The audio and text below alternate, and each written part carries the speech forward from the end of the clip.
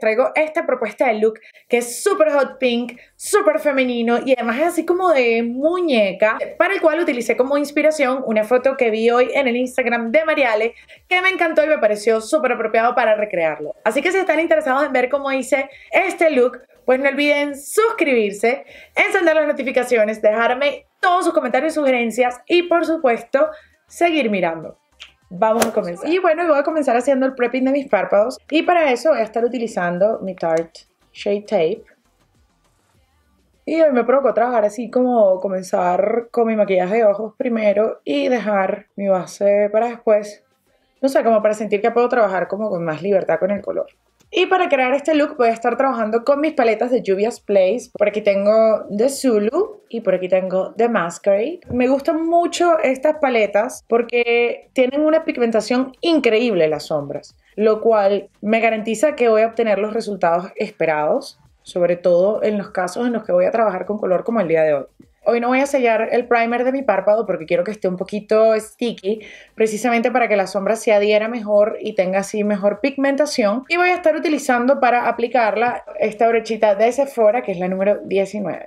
El primer tono que voy a estar aplicando es este tono que ven acá, que se llama Body, de la paleta de Masquerade de Juvia's Place.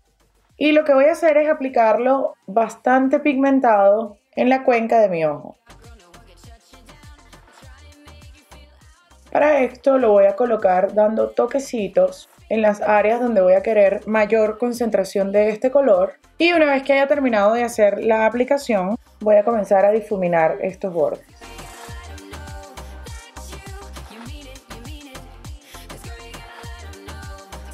Ahora voy a tomar este tono naranja de la paleta de Zulu de Juvia's Place y voy a difuminar un poco los bordes de este rosa. Y ahora voy a tomar un poco de este tono amarillo de la misma paleta. Voy a tomar otra blending brush y voy a colocar un poquito, solo como para ayudar a profundizar ese efecto de degradé en la parte de arriba del párpado. Voy a tomar un poco más del tono fucsia y lo voy a reforzar porque no quiero que se pierda en el difuminado. Quiero que sea el tono protagonista de este look. Voy a tomar un tonito color hueso y con él voy a limpiar un poquito el hueso de mi ceja. Voy a limpiar un poquito hacia esta área del huesito de mi ceja porque siento que el blending está subiendo como demasiado. Este paso también de alguna u otra forma les va a ayudar a mejorar el blending de la parte de arriba de sus ojos. Y una vez que termine de hacer el blending de todos estos colores, voy a pasar a aplicar el glitter y hoy voy a estar utilizando este Magnificent Metals de Stila en el tono Kitten Karma. Y lo que voy a hacer es aplicarlo, él ya trae su aplicadorcito,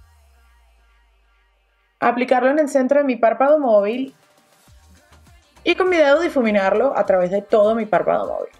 Y ahora voy a tomar una pencil brush, voy a tomar un poquito de sombra negra. Hoy voy a estar trabajando con mi Blackout de Urban Decay, que si ustedes no son nuevos en mi canal, deben saber que esta es una de mis sombras negras favoritas. Y lo que voy a hacer es agregar un poquito, con una mano muy ligerita, un poquito de profundidad hacia la esquina externa de mi ojo. Ahora voy a tomar una blending brush más pequeña y voy a difuminar un poco este tono. Ahora voy a tomar una toallita húmeda, hoy voy a estar utilizando estas de Neutrogena, que son mis absolutas favoritas, y voy a limpiar el resto de mi rostro. Cualquier fallout de color que haya podido caer. Y ahora voy a terminar el resto del maquillaje de mi rostro y ya vuelvo para terminar con este look super hot pink. Y bueno, mis amores, ya terminé de hacer toda mi rutina de base. Hoy utilicé como base esta Super Stay de Maybelline que ustedes ya saben que se ha convertido en una de mis favoritas. Y si quieren ver un review acerca de esta base pues les voy a dejar el link por aquí abajo para que puedan ir a verlo. Ahora vamos a terminar con este super rosy makeup look. Y para eso voy a tomar este tono rosadito que está aquí abajo en la paleta de The Zulu. La verdad es que no me gusta mucho que esta paleta no tenga el nombre de los tonos, Me estresa un poquito no poder ver eso y compartirlo con ustedes. Voy a tomar una blending brush súper delgadita y voy a aplicar este tono justo por la parte de abajo de mi ojo. Ahora voy a tomar este tono que es como topi o marrón grisáceo, muy suavecito. Voy a tomar otra brochita y voy a difuminar un poco este rosadito hacia abajo. Este truquito de utilizar una sombra de este tono lo vi en un video que posteó Nikki Tutorials junto al maquillador de Beyoncé y él dijo que bueno, que siempre le gustaba como que ayudarse a difuminar la parte de abajo del ojo con una sombrita color topi o como se pronuncie. Y para agregar un poquito de iluminación voy a tomar mi brocha Morphe 175 y voy a tomar este tono Giza, o Giza, no sé si lo ven ahí, pero voy a tomar este tono Giza y lo voy a aplicar justo en mi lagrimal. Recuerden cuando apliquen puntos de luz que también tienen que difuminarlos un poco. Como máscara de pestañas hoy voy a estar utilizando mi favorita que es la Grandiose de Lancome. Y si quieren ver un video donde les muestro cuáles son todos mis tips y truquitos para aplicar máscara de pestañas, pues también les voy a dejar el link por aquí, en algún lugar va a aparecer, para que no se lo pierdan. Y también les explico un poquito para qué funciona cada tipo de máscara de pestañas diferente. Como pestañas hoy estoy pensando eh, utilizar de la marca Le Celine el modelo se llama Celeste. Eh, yo la, saqué de la cajita. Ellas vienen en esta cajita súper linda. Yo la saqué y en realidad me parecen un poquito demasiado exageradas para mi gusto. Pero creo que me gustaría probarlas. ¿Ustedes qué dicen? Vamos a probarlas. Así quedaron las pestañas. ¿Ustedes qué opinan? ¿Les gustan? Déjenme saber en los comentarios ¿Qué opinan ustedes de esta marca de pestañas? No la había probado hasta ahora, estas fueron las que me dieron el goodie bag de la masterclass de Summer Kusami. La verdad me parece que son un poquito demasiado para mi gusto, pero bueno, vamos a darles una oportunidad en este video a ver qué tal.